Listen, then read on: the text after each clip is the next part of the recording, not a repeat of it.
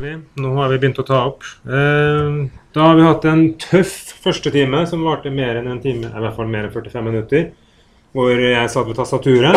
Og så minner jeg dere bare om at på YouTube så kan dere se det i 1,5 hastighet. Og så er pauseknappen der hvis det går for fort, ikke sant? Så det går an å se det på nytt hvis man holder ut. Eh, neste uke så skal vi installere Apache og, og prate mer om om eh, Du kan godt si fra neste gang skjermen viser feil. da. Det er lov, det. Skal vi prate mer om HTTP, eller det som dere kjenner som, som Internett. Mm, Jeg tenkte at um, vi kan prate litt om det i dag, og så er dere flinke og leser om det til neste forelesning neste uke. Da er vi i rute i forhold til planen, og så kan vi diskutere det litt mer da. Det her kan man si innmari mye om. Uh, litt fordi at eh, vi bruker det mye, og litt fordi at det er del av en hel stack av protokoller som vi bruker for å kommunisere. Men det her er ikke noen nettverkskurs, så vi skal ikke prate om eh, TCP-IP-stacken eller OSI-modellen. Mulig at jeg nevner det neste gang. Vi skal bare ta det for gitt at det fins, og at vi kommuniserer over det, og at, at det fungerer. Um, men i alle fall, HTTP det er en protokoll som da ligger på fjerde nivå i denne TCP-IP-modellen, eller internettprotokollmodellen som vi prater om. Det øverste nivået hvor alle applikasjonene ligger. Så HTTP det er regnet som en applikasjon eh, som ligger øverst der. Og den eh, kommuniserer med TCP, som ligger under der. Og TCP ligger oppå IP, som gjør at vi kan internettprotokollen, også, som gjør at vi prater mellom forskjellige maskiner. Og helt nederst så har du den laget som noen kaller linklag, og noen kaller det bare nettverk, men som vi kan mer tenke på som det fysiske laget. Men alt vi gjør, det skjer på det fjerde laget, som altså er det øverste laget, hvor det er forskjellige programmer som prater sammen. Så HTTP, det er en program som prater mellom en tjener og en klient. Og da er det alltid sånn at klienten stiller et spørsmål til tjeneren, og tjeneren svarer. Hva er klienten, da? Vanligvis. Eller ikke ofte. Hva hva, hva er klienten i det tilfellet her? Klienten er den PC-en Ja, nesten litt mer presist. Hvilket program på PC-en din er det som er klienten vanligvis? Nettleseren. Ja, veldig bra. Og det er en grunnleggende forståelse at når du sitter der og taster og holder på, så er det nettleseren din som fungerer som klient, og den konverterer ditt klikk på ei lenke til en forespørsel som sendes til en tjener, som sender et svar tilbake. Som nettleseren din tolker og viser på skjermen, og så kan du gjøre noe med det. Eh, Men det må jo nevnes at eh, når jeg sier vanligvis og sånne ting, så er jo det med modifikasjoner For det første så har vi jo etter hvert fått veldig mye på telefonene våre. Så alle de appene som står og går der, det er jo rett og slett bare en fin overbygning over en nettleser, som gjør at du ved å trykke på knapper i appen istedenfor å trykke på lenker eller fylle inn skjema, så sender du en forespørsel. Jeg vet at apper kan gjøre andre ting, men veldig mange apper handler om å kommunisere og sende inn informasjon. og Til og med spill får, går jo på toppen av HTTP ofte. Så, så den ligger der, og som regel er nettleseren, men alle programmer, f.eks. et lite skript som du kan skrive sjøl, eller et lite Visual Basic ting og tang, eller i Access, kan i prinsippet prate HTTP. Det er ikke en avansert protokoll. Men husk på, det er en klient som spør en tjener, sender en forespørsel og får et svar tilbake. Så det lille vi skal gjennom i dag, det er på en måte grovformen på en forespørsel, og hvordan et svar ser ut. Og dere har sett en del av de her når dere har kommet til en nettside som ikke fins. Hva får dere i, ansiktet da ofte? Det er en lenke som ikke virker lenger. Hva står det da ofte på skjermen? Ja, Nesten ikke 42, men 404. Ok, og den 404 det er definert i HTTP-spesifikasjonen til å bety 'not found'. Det fins flere sånne fire Ja, ja, den er forbudt. Da betyr det rett og slett at noen har vært inne og endra rettigheter med change mode, hvis det er en Linux-server iallfall, og sagt fra at det her har ikke brukeren til Apache lov til å lese. Og da får ikke dere lest det. 401, er det noen som husker den i farta? Ja, Det går selvfølgelig an å google, og det er lov. Det er helt i orden. Det har jeg ingenting imot.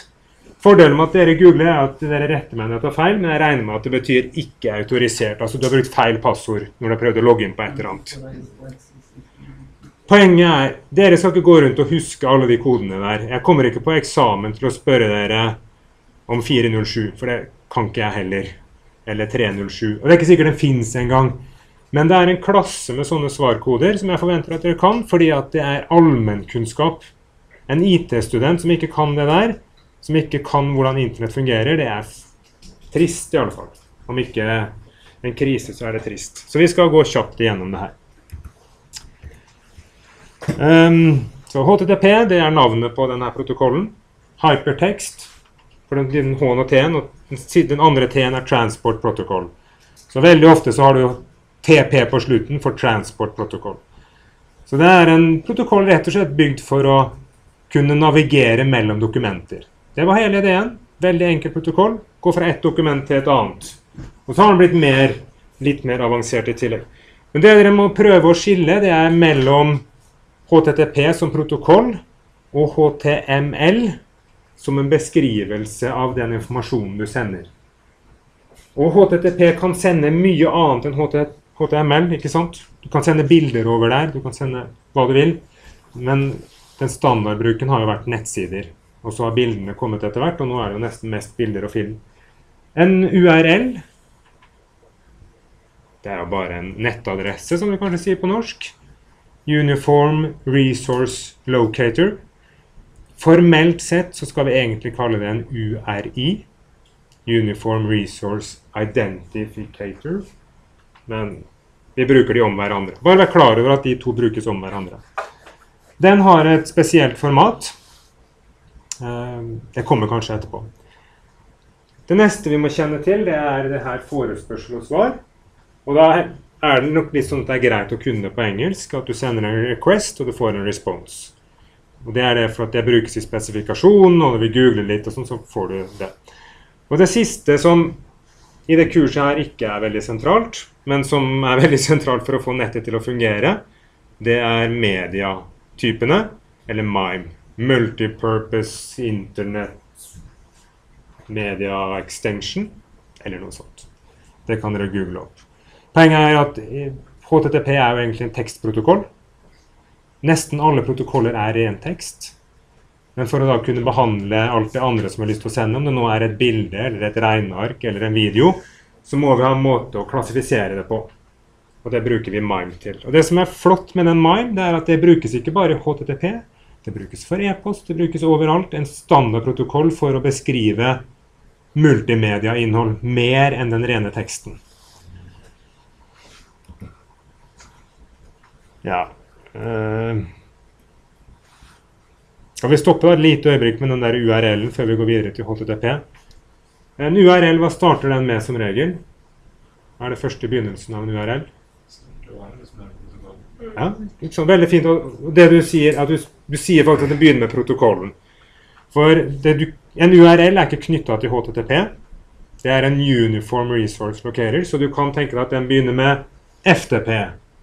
Eller en annen protokoll. SMTP.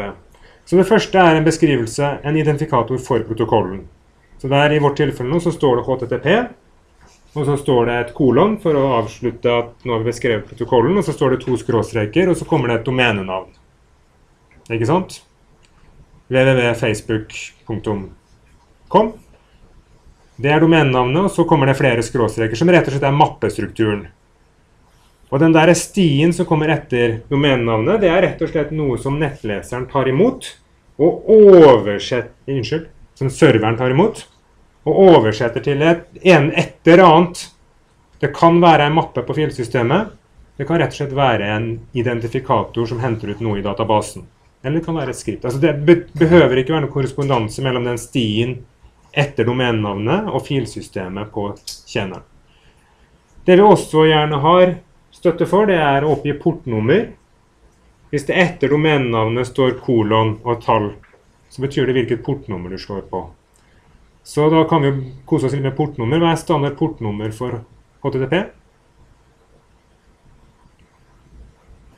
Ok, Da kan vi begynne med å si at alle standardprotokoller har under 1000. Over 1000 det er såkalt ikke-privilegerte porter. Og da er gjerne mye større. Så hvis, når dere setter opp en gamingserver gaming-server hjemme, eller et eller annet sånt, så vil dere se portnummer 43756. Som bare er tilfeldig valgt. Mens under 1000, eller egentlig under 1024 sannsynligvis, så er det definerte porter. Så HTTP har 80. Og der er den vanligvis kjøres. Hvis dere ikke sier noe, så er det på 80. Så hvis jeg går til nettleseren min her nå Dere ser det så vidt. Nå har jeg skrevet kolon 80 bak. Så får jeg akkurat det samme. Men hvis jeg nå prøver å si 78, da henger det, gitt. For det kjører ingen HTTP-server på port 78 på den serveren der. Så, så 80 er standard. Hvis dere setter opp en HTTP-server til Av og til så trenger man det, for man trenger en som kjører vanlige ting, og en som kanskje kjører Tomcat, som er en Java-tolker, eller who knows. Da har dere typisk Det er to skoler. Det ene er å bruke den påfølgende. At du bruker 80, 81, 82. Det er noen som gjør. Mens veldig mange sier 80, 80.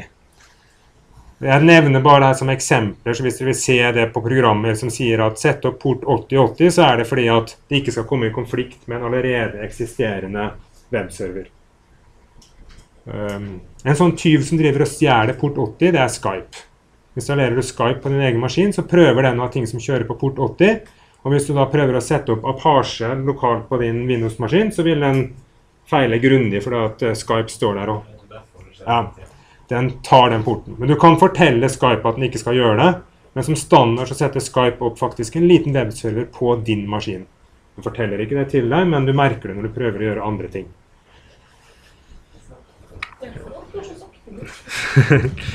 og så er det kanskje noen som har sett denne varianten, hvor du kan skrive 'bruker' alfakrøll foran nå. Hvis du trenger å logge inn på en server over HTTP, så kan du angi brukernavnet foran domenen. Så du kan se sånn som det er. Bruker at uib bla, bla, og på en eller annen port. Og så har jo nettleserne blitt så snille i at de skjuler HTTP. Men eh, for inntil det er kanskje et år siden, så, så sto det jo også HTTP foran der.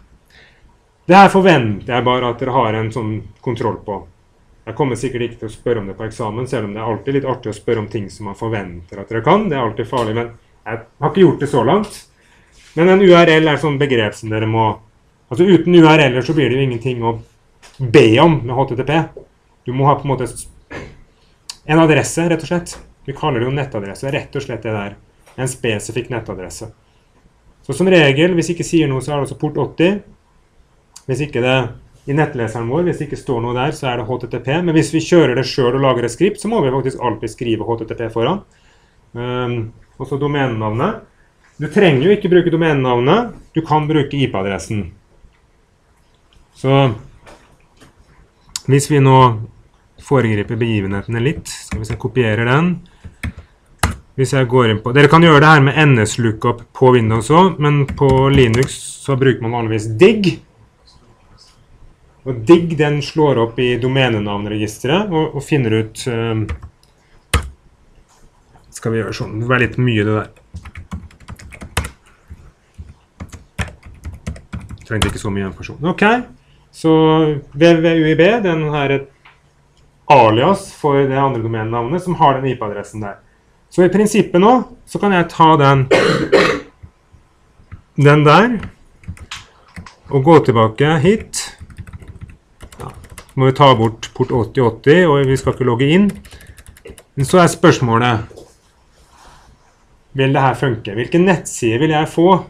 Nå har jeg altså tatt bort domenenavnet og dyttet en IP-adressen. som dere som har holdt på en stund, dere vet jo egentlig at eh, et domenenavn det er bare en fin representasjon for en IP-adresse.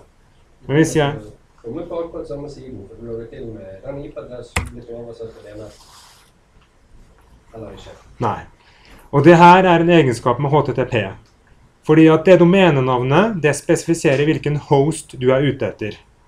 Den, den gjør faktisk to ting. Den sier hvilken server du skal kontakte med IP, men også hvilken host på den serveren du har lyst til å se. Så den serveren her nå, som vi har satt opp på UiB, den kjører forresten en veldig bra webserver som ikke har Apache. Eh, den hoster flere domener. Og det her er veldig veldig vanlig, det kan du bare vite med en gang. at at en sånn server hoster som regel mange domener. Derfor så holder det ikke bare å bruke IP-adressen, må faktisk be spesifikt om en host. Så vi skal se etterpå hva som faktisk foregår, men sånn er det i hvert fall. Derfor så bruker vi alltid domenenavn og aldri IP-adresser når vi bruker URL-er i HTTP. For det er mer informasjon der enn vi egentlig tror. Det var en digresjon som tok litt tid.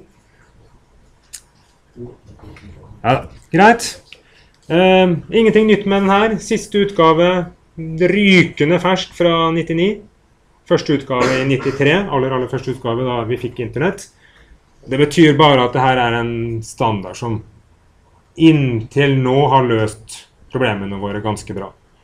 Hvis dere har lest veldig mye, så har dere kanskje sett at Google har prøvd å komme med en ny en som heter Speedy. SPDY. Som er mye mer avansert, og som gjør at nettsidene skal laste enda mye raskere. Ulempen med det er jo at én, eh, nettleserne må støtte det. Eh, to, hele verden må skifte til å støtte det. Men poenget er at det kan være frivillig å støtte det. Altså de som støtter Speedy, vil få nettsidene dobbelt så raskt som alle de andre. Så da vil de fleste skifte etter hvert. Men det er i hvert fall en godt etablert standard. Eh, den er beskrevet i RF, RFC 2616. Noen sånne IT-folk de husker de numrene der. Det er sånne numre for SMTP og for uh, beskrivelsen av innholdet i e-post. Jeg kan ikke de numrene, så da må jeg bare skuffe dere. Uh, det går jeg ikke rundt og husker. Men jeg vet hva RFC står for, og det kan dere godt vite òg. Det står for Request for Comments. Og det er rett og slett sånn det fungerer i de her samfunnet.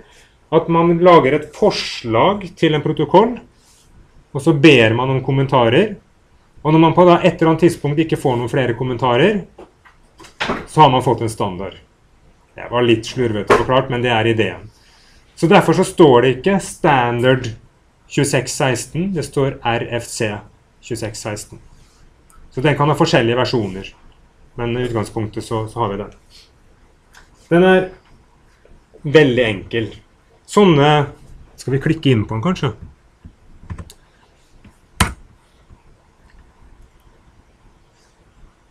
Ja, I 2014 så ble en subsidier altså erstatta, så her følger jo ikke jeg med. De har lagd to nye versjoner nå i år, faktisk. Som er en utvidelse av de her. Men det er ikke Speedy, som jeg snakker om. Men en liten, sannsynligvis en litt klarere spesifikasjon. Men eh, vi kan klare oss med den her fortsatt. Hvis dere ser scrollbaren her borte, så ser dere at den består kanskje av hva vil det ti sider. Ti skjermsider med innhold som spesifiserer en hel protokoll. Det er ikke mye. Så det her er ikke noe avansert protokoll. Så man kan sette seg ned og lese det her. Det gjør ikke jeg heller, men jeg har faktisk slått opp inn av og til på en spesifikk ting jeg har lurt på hvordan det fungerer. Så det jeg gjør nå, er bare å plukke ut litt av det. Men det går an å sette seg ned og liksom, en lørdagskveld istedenfor å se på side ved side, eller hva det heter. eller noe sånt, Så kan man se på det der. Men eh, hvis du blander et tabak, så ser du det at det er mye mer enn bare ti sider. Har de delt, delt den opp og juksa? Eh, under det er det bare til of. Ja, men de skal ha en helversjon. Ja, ja. Men det skal være lett å lese for det. Skal vi prøve å lese litt, da? Hvis vi går inn her, f.eks. på 400 XX. Ja. Ok, jeg tar tilbake ti sider. Det må vi gange med Hva tror du? 20? 200 sider.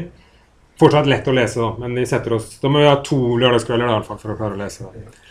Uh, men jeg, jeg, holder fast ved at den er lett, for du kan altså Her bruker de et helt avsnitt på å beskrive hver enkelt kode. Du kan gå inn og slå inn og se på de, altså det.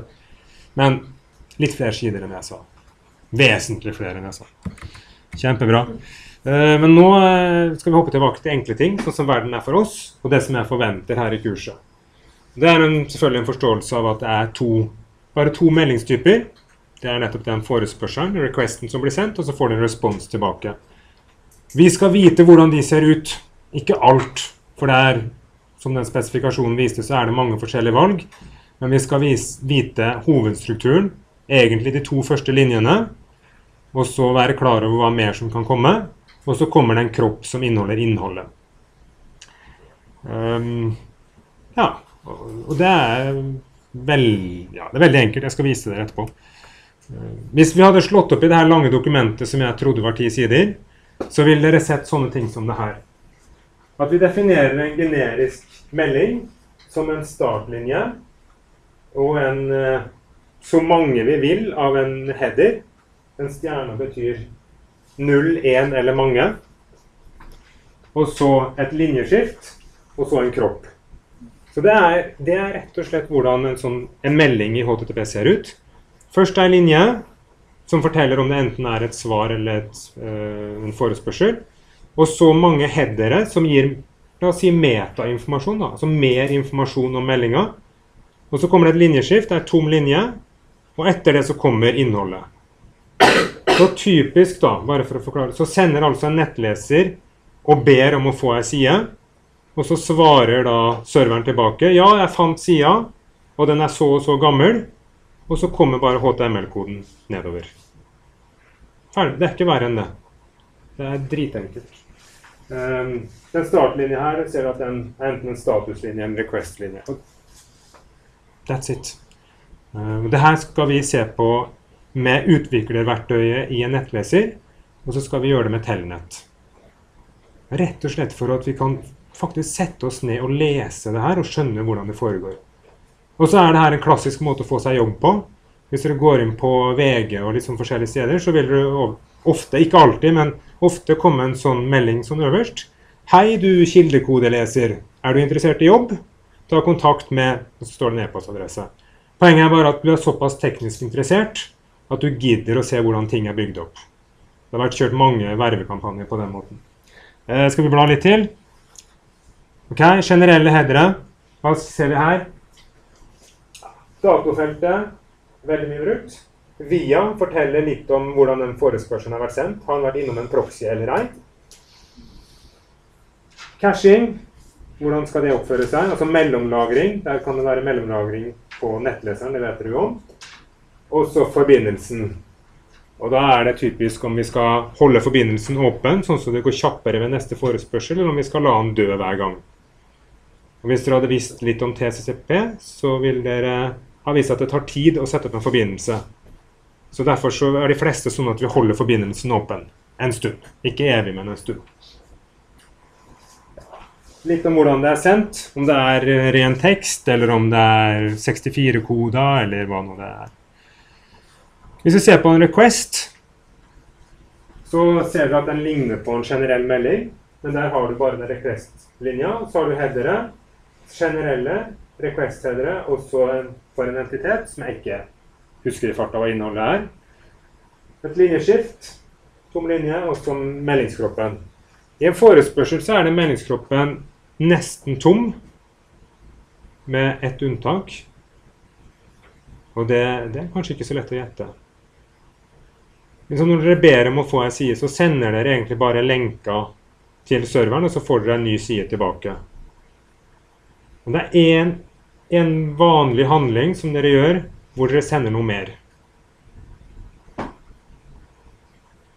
Når dere sitter der. Og det er når dere laster opp ei fil. Da vil den fila som dere laster opp, den ligger der i meldingskroppen. Så den F.eks. når jeg laster opp forelesninga etter det her på YouTube, så vil denne videofila mi bli konvertert til tekst. Og så vil den lagt til etter der og sendt opp. Det er ikke helt sant, for at de jukser litt, men i utgangspunktet så er det, det ideen. Og verre er det ikke. Så den meldingskroppen er veldig ofte tom. Men uh, av og til når vi laster opp ting, så Eller hvis vi bruker en post request, så er det innhold der.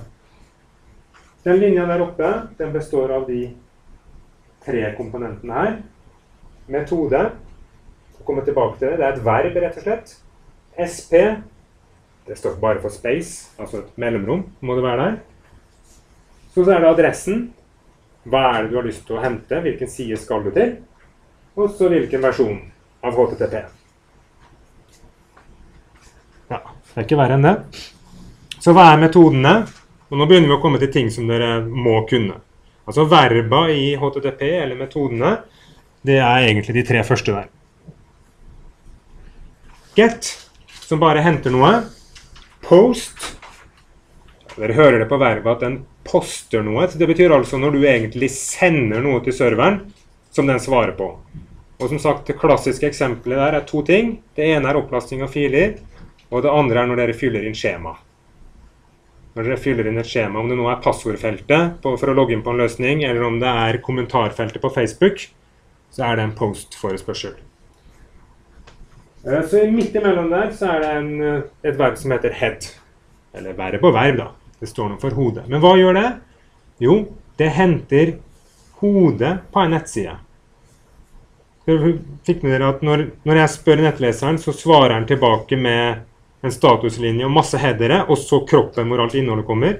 Hvis du bruker head, så dropper den innholdet. Bare hodet. Og når er det nyttig? Jo, det er f.eks. For, for å sjekke om jeg har siste utgave av en fil.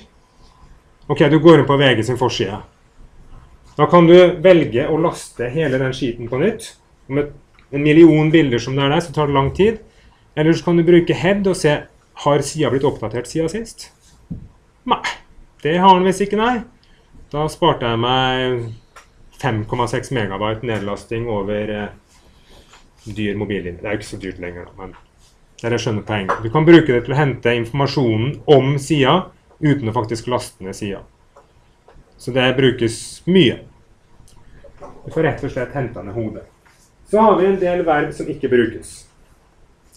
Eh, putt og delete, det var rett og slett for å laste opp ei fil inn på filsystemet. Og delete var for å slette ei fil fra filsystemet. Men det er jo ikke sånn vi vedlikeholder nettsider lenger. Vi er jo inne i Wordpress eller for så vidt Facebook eller hva nå vi er. Så er det en vanlig tekstboks som vi fyller inn, og så trykker vi 'lagre', og så lagres det i databasen, og så er det et program som viser det. Det er ikke sånn at vi laster opp filer. Så putt og delete, selv om det i utgangspunktet er gode funksjoner, blir ikke brukt lenger litt sånn av eh, sikkerhetsgrunner òg, da. For det er vanskelig å sette opp brukere som skal ha tilgang osv. Mye enklere med en innloggingsboks som gir deg tilgang til et system. Og de andre er vel spesialtilfeller som vi, vi, heller ikke bruker. Så de tre verba er det vi skal ha. Det er de tre verba som blir brukt. Get og post og head, da. Svara, de har dere jo sett. Det er en uh, statuslinje og så masse hedre, og så innholdet. Og den statuslinjen den forteller rett og slett statuskoden din. Du svarer med versjonen først, og så statuskoden, som dere ga meg eksempler på sist, nå 404 f.eks. Og så en beskrivelse. Så ofte når dere får opp en feilside, så står er den gjerne satt opp sånn at Apache viser dere noe fint i nettleseren. Eh, er det Twitter-bruker. Det er den hvalen som svømmer bortover, og litt sånn forskjellig. Det er jo om å gjøre å være veldig morsom på de her 404-sidene. Men selve nettleseren den ser bare 404, og så står det alltid 'not found' på engelsk. For det er definert i standarden at det skal stå 'not found'. Det blir ikke oversatt eller noe sånt. Men så kommer det da gjerne noe fint noe der. Ja, det var det. Det var HTTP. Ferdig med det.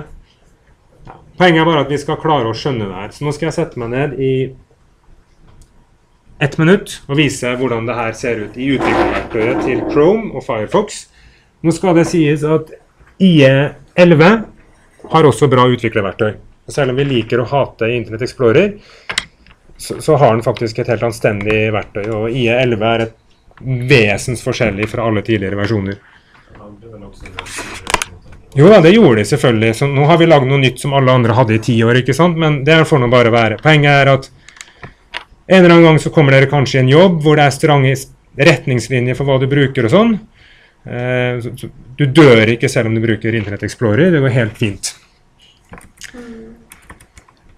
Skal vi se www.uib.no. Eh, F12. Mange av dere som bruker det. Da dukker eh, utviklerverktøyet opp her nede. Nå er jeg i Chrome. Jeg kan klikke på 'Network'. Og da får vi se hva som foregår. Hvis du nå Jeg fikk ikke se den siden jeg nettopp lasta, men jeg kan laste den inn på nytt. Og da kommer alt sammen nedover her. Og så kommer det ei tidslinje hvor lang tid det tok. Og det var ganske sprekt. 0,2 millisekund. Du ser dere her nede, den stoppa på 150. Grunnen til det er selvfølgelig at jeg nettopp lasta den sida her, så alle bilder og alt mulig er casha. Så det eneste jeg spør om, har det kommet noe nytt. Um, når du holder på i Chrome sitt utviklerverktøy, så er poenget at forhåndsvalget er all. Så bortover her kan du velge dokumenter, som er den sida du ba om. Stilark, som sida har brukt. Bilder, bla, bla, bla. Så til å begynne med så lønner det seg å velge documents, for det gir minst informasjon. Og uh, jeg ba jo bare om ett dokument. Det var den adressen der. Dere ser at metoden jeg sendte, var get. Svaret jeg fikk tilbake fra serveren, var 304, not modified. Mime-typen er text.html, bla, bla, bla. Hvis jeg klikker inn på den i tillegg, så får du se alle headerne som klienten din sendte. Først ser du her, request, jeg om bla, bla, bla. Hvis jeg scroller litt nedover her nå, så kommer host. Den der jeg er litt tidlig ute. Uh, den der er det som mangler hvis du bare fyller inn IP-adressen. Så når du skriver domenenavnet, så tar nettleseren og fyller inn det host-feltet der. Og Hvis du skriver bare IP-adressen, så er det host-feltet tomt. Og da vet ikke serveren hva han skal svare. Så kommer det flere eh, svar her nede. Og her er selve responsen, altså HTML-koden som den sender i kroppen.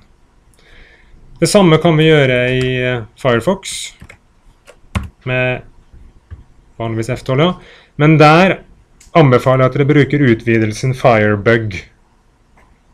4BUG, altså eh, Ikke med firetall, nei, men Firebug. Uh, selv om utviklerverktøyet i Firefox er OK, så er Firebug enda bedre. Og den ser sånn ut. Og da kan du si HTML, og du kan gå inn på den. Og nå var det da Fikk jeg svar tilbake, og det ser, det ser veldig likt ut. Ikke sant? Det er den samme informasjonen. Hvilken dere bruker, er helt opp til dere sjøl, men det her er himla nyttig når dere lurer på hvorfor noe har gått gærent. Så vi skal gjøre noe morsomt nå, bare for å vise dere hvorfor høyskolen sine hjemmesider er så treige. Skal vi se Himolde Det klarer vi ikke å skrive. Og så side som ikke fins. Det er faktisk da en side som ikke fins. Og da svarer selvfølgelig den flotte nye løsninga vår at siden fins ikke, for det er bare en tulleside. Jeg kan hive på en X bak der òg, så får jeg fortsatt. Men eh, ser dere hva den sier? Status. Ser dere der? Serveren gir meg en sånn fin Jeg må bare vente litt til, så er jeg ferdig. Jeg er snart ferdig. Kvart over, vet du, så skal du få rommet. Um, den sier altså til oss brukerne at sida ikke fins, men til nettleseren så sier den 200 OK. Så det betyr at hver gang noen ber om et element som ikke fins, så får den hele den sida der i retur, som altså er på 20 kB, pluss at serveren må behandle det. Og nettleseren tror at dette er en ressurs som den skal bruke. Og det de har gjort, er at de har en del fonter som mangler. Så istedenfor å få 404 og at det går fort, så får den 200-meldinga, og så laster den sida. Derfor så tar hjemmesida vår 2-3 sekunder å laste istedenfor ett. Og dere må gjerne drepe Every, som ikke leverer det de skal. Nei, takk for meg. Jeg håper dere stikker ned om laben i morgen. Hvis dere vil. Hvis ikke så ses vi på forelesning neste torsdag.